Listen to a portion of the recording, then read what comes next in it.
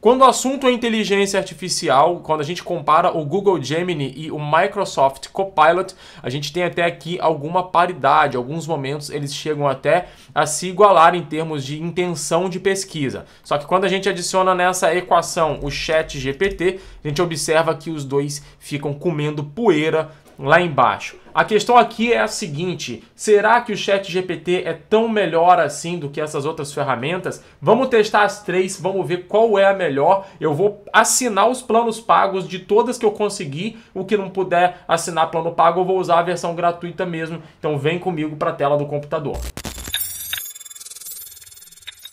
Então eu tô aqui com o Chat GPT assinado, olha aqui, ó, na versão Pro. Tô também aqui com o Copilot da Microsoft, também assinado na versão Pro, e tô aqui com o Google Gemini ou Gemini, não sei como você fala, beleza? Aqui a gente tem o seguinte, três inteligências artificiais que funcionam para nos servir e eu quero entender como que cada uma delas vai contribuir para nossa produtividade aqui no canal e nossa produtividade nas coisas diárias aí que cada um tem para fazer. Bom, vou começar então pelo gratuito Google Gemini ou Gemini. Me corrija aqui nos comentários, eu detesto falar as coisas erradas. Então, eu não encontrei aqui dentro uma forma de assinar essa ferramenta, logo eu não sei aqui sinceramente se existe um, uma versão Pro dessa ferramenta, mas eu vou usar o mesmo prompt de comando em todas elas para ver o que, que eles vão me entregar aqui. Então, a primeira coisa que eu vou perguntar aqui vai ser a seguinte: eu vou mandar esse prompt de comando aqui para ele, olha só, com base nas palavras-chave, né? Termos de busca. Abaixo, crie para mim uma descrição SEO para o meu vídeo do YouTube. Desejo aparecer nas primeiras posições posições nos resultados de busca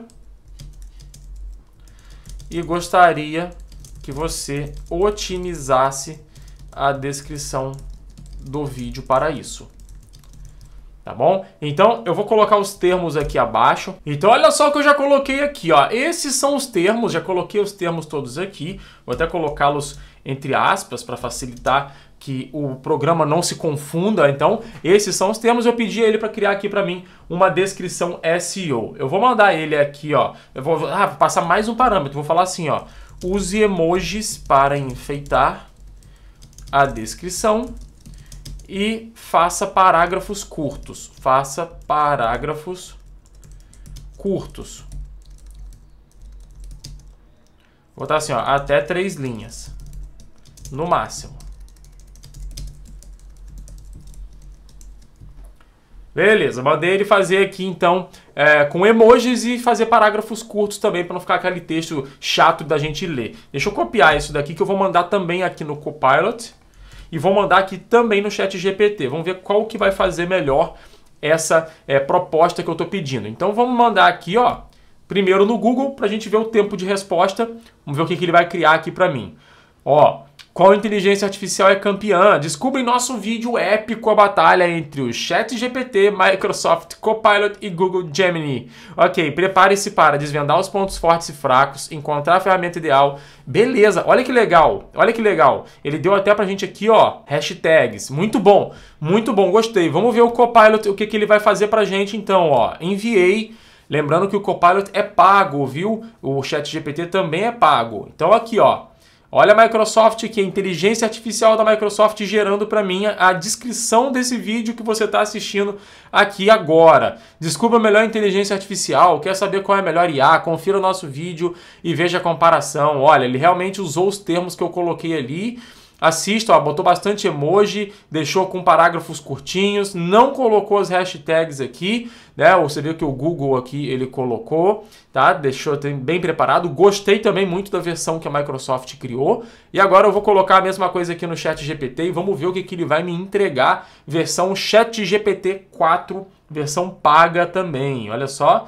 Vamos ver o que, que ele me diz, hein? Descubra qual é a melhor inteligência artificial em 2024. Você está curioso para saber qual é a melhor ferramenta de inteligência artificial disponível? Entre o ChatGPT, Microsoft Copilot e Google Gemini, qual será a campeã? E aí ele está criando para mim aqui, ó, parágrafos curtos. Vamos ver se ele vai parar por aí. Ó, quatro linhas. Que está criando mais, ó. Outro parágrafo, outros tópicos. Eu já reparei que ele é um pouco mais lento do que o Copilot e é um pouco mais lento também do que o Google, mas em contrapartida ele está sendo um pouco mais aprofundado. Olha, ele também não criou aqui as hashtags automaticamente como o Google criou aqui no final, ó. Tá vendo? Então nós temos aqui a versão do Gemini, do Copilot e do Chat GPT. Olha só, gente, eu vou falar um negócio para vocês aqui. Nesse primeiro critério, atendeu perfeitamente. Nesse primeiro pedaço de vídeo, para criação de texto, eu gostei dos três. Eu achei que foi um empate aqui, porque os três se saíram muito bem. Vamos mandar criar imagem agora? Vamos ver como é que ele se sai na criação de imagem? E agora eu vou começar de trás para frente. Vou começar aqui pelo chat GPT. Crie para mim uma imagem com várias pessoas se alimentando em um aeroporto. Olha só, hein? Fui bem detalhado aqui. Cria, eu quero uma imagem com várias pessoas se alimentando em um aeroporto. Eu poderia ir além, poderia colocar assim, ó, em um dia nublado com chuva e trovões. Nossa, aqui vai acabar com a inteligência artificial, hein? No céu. Será que, será que ele vai saber fazer isso daqui? Vou pegar esse troço aqui, vou copiar, vou jogar aqui para o Copilot também e vou jogar aqui para o Gemini também. Eu quero ver o que, que eles vão fazer. Hein? Começando agora com o GPT, usando todo o seu poder aí da versão 4, né? Onde ele consegue criar imagens. Então vamos ver o que, que ele vai me entregar aqui. Será que vai funcionar? Será que não vai? Também vou aproveitar e enviar aqui no Microsoft enquanto ele gera também e aqui no Google enquanto ele gera também. Vamos esperar então primeiro aqui o chat GPT para ver o que, que ele vai me entregar. Então aqui está a minha imagem. Nossa, mano, olha isso aqui.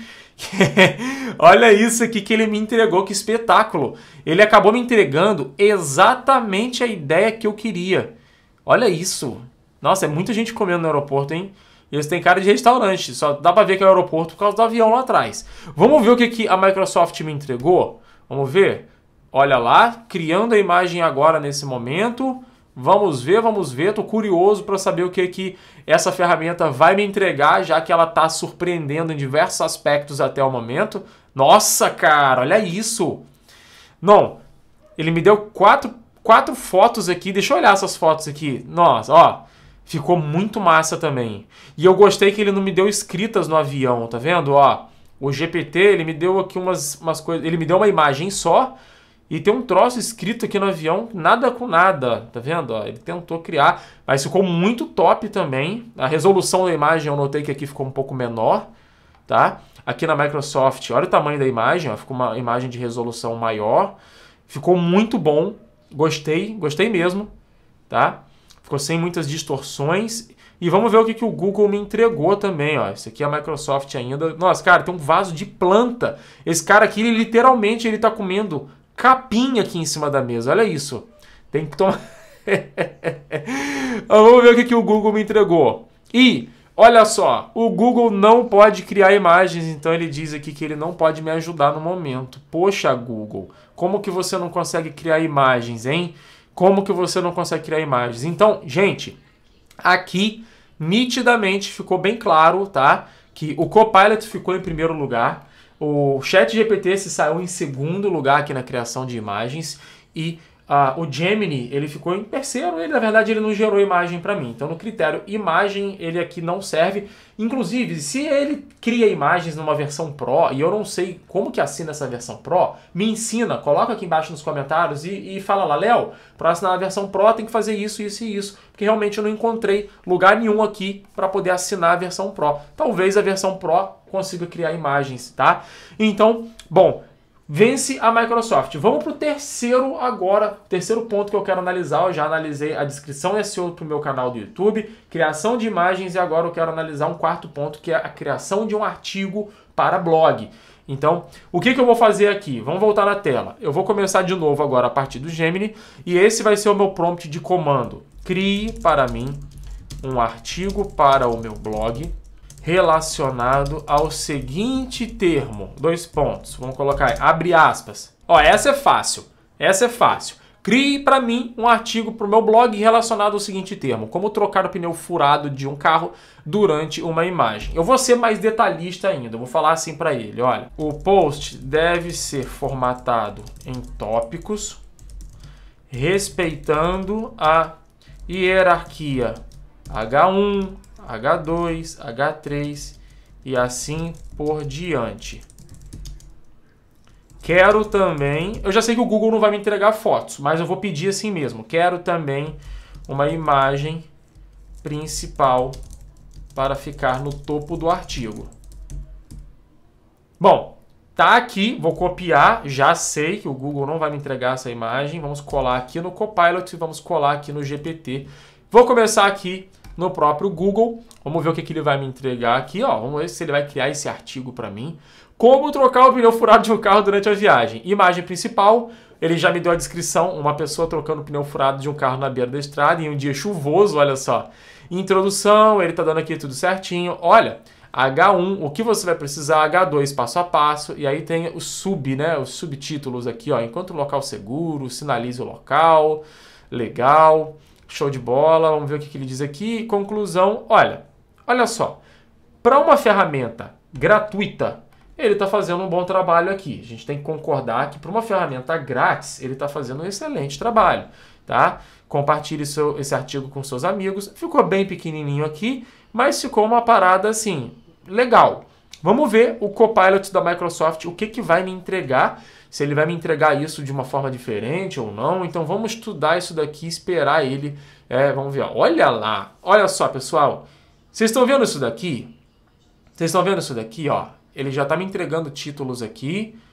Ele está me dando aqui uma lista de coisas que eu preciso, os subtítulos. Ele está sinalizando para mim o que deve ficar em H2, o que deve ficar em H3, assim como o Google também sinalizou, tá? Só que aqui, olha só, o Google ele não sinalizou H3, por exemplo, ele só sinalizou H2. Ele colocou H1 aqui. Eu achei isso aqui meio errado, essa formatação que ele me deu. Mas o da Microsoft ainda está criando para mim a imagem aqui no final. Vamos ver que imagem que ele vai criar para mim para enfeitar esse artigo do meu blog, né? Olha só, vamos ver aqui. Vamos ver o que, que ele vai me entregar. Olha lá. Gente, ele me entregou uma parada aqui.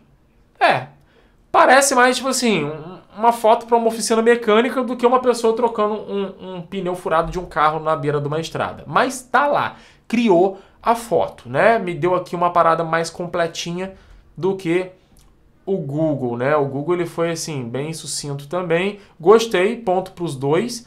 Vamos para o Chat GPT, vamos ver o que, que ele vai fazer por mim. Vamos ver o que, que ele vai fazer para a gente aqui. Bom, tá criando primeiro a imagem, então, ó, ele já começou o algoritmo dele criando uma imagem.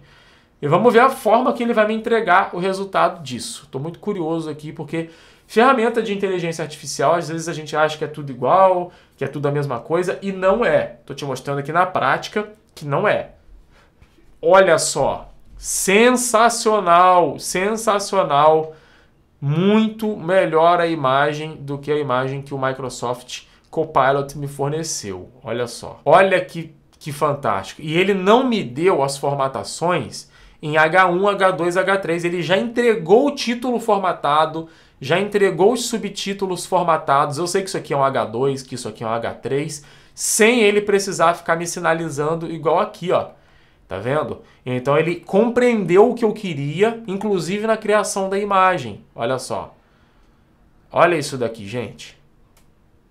Tá vendo? Ele, ele é meio lento, né? Ele, ele assim, o que me, me dá a impressão aqui que o, o, GPT ele, ele é um pouco mais inteligente, porque parece que ele vai mais a fundo naquilo que você pede. Parece que ele está pensando ali para te responder literalmente. Olha só. Ou ele é ruim de processamento, das duas a uma, né? Ou ele é ruim de processamento, ou me parece que é uma coisa um pouco mais elaborada. Você ficou com esse sentimento também? Olha isso. Tá vendo? Então, ele me entregou uma parada aqui legal, Gostei. Aqui para mim o Chat GPT, né, foi o campeão. Entregou a melhor imagem, seguido por esse daqui, né, que me entregou também formatadinho. Ele podia ter continuado a formatação aqui, ó. Ele não precisava ficar com esse H2 aqui na frente, tá vendo? Eu já sei que isso é um H2, que isso aqui é um H3, né? E o Gemini, bom, ele só me entregou texto, mas também cumpriu o seu papel quando o assunto é criação de texto com a inteligência artificial. Onde eu quero chegar aqui? Qual é a melhor para você usar? Qual é a melhor para você assinar? O Chat GPT custa 20 dólares por mês. O Microsoft Copilot ele custa 109 reais. No momento que eu gravo esse vídeo aqui foi o valor que eu paguei e o outro não achei o plano Pro dele para assinar. Bom, conclusão, houve um empate, ficando o Google Gemini um pouquinho para trás dos outros dois, isso justifica, né, porque os outros dois são pagos, mas em termos de ferramentas gratuitas, se a gente fosse comparar, por exemplo, o GPT ele não ia fazer foto, se na ferramenta gratuita dele ele não iria conseguir fazer foto, então ele iria ficar empatado ali com o Google. O Microsoft Copilot, mesmo na versão gratuita, ele faz foto, isso pode ser um diferencial para você.